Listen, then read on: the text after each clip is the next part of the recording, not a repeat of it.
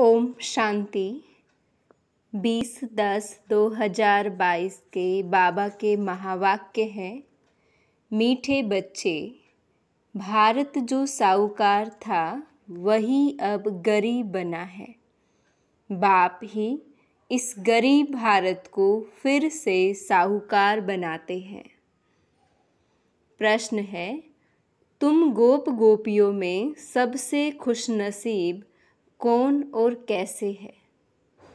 उत्तर है, सबसे खुश नसीब वह है जो गोडली ज्ञान डांस करते हैं।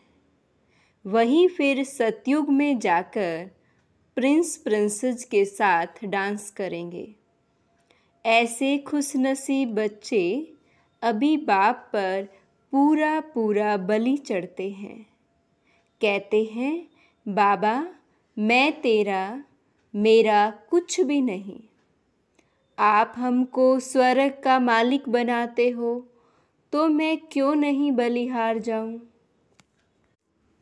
मुरली की मेन पॉइंट पहला पॉइंट सदा इस नशे में रहना है कि हम ब्रह्मांड और विश्व के मालिक बन रहे हैं।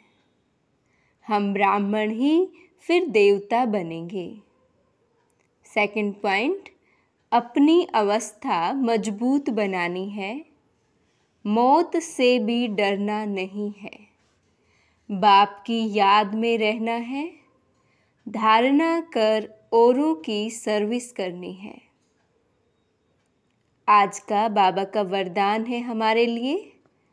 बहानेबाजी के खेल को समाप्त करने वाले मास्टर दातापन के स्वमानधारी भव। बहानेबाजी के खेल को समाप्त करने वाले मास्टर दातापन के स्वमानधारी भव। जिन बच्चों को बहानेबाजी का खेल आता है, वह कहेंगे, ऐसे नहीं होता तो वैसे नहीं होता। इसने ऐसा किया सरकमस्टांस व बात ही ऐसी थी। बाबा कहते हैं, अब इस बहानेबाजी की भाषा को समाप्त कर दृढ़ प्रतिज्ञा करो कि ऐसा हो या वैसा। लेकिन मुझे तो बाप जैसा बनना है। दूसरा सहयोग दे तो मैं संपन्न बनूं? नहीं।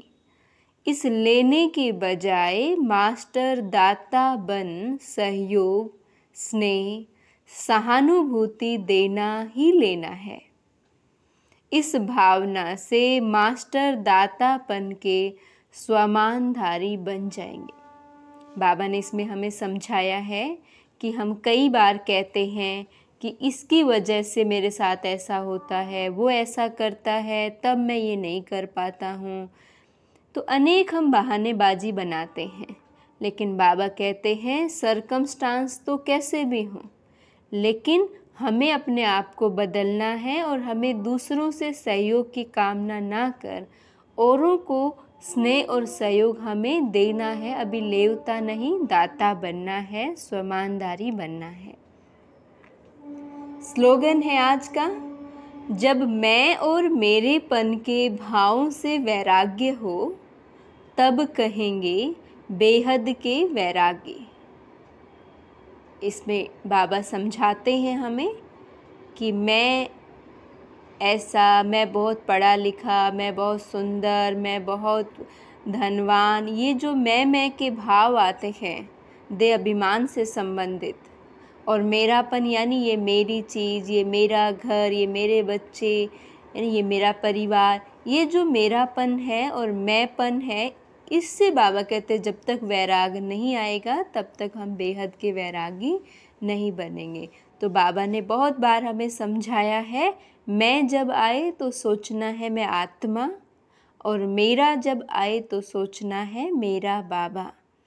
हद के मेरेपन से जब हमें वैराग आएगा, तब हम बेहद के वैरागी कहलाएँगे। ओम शांति।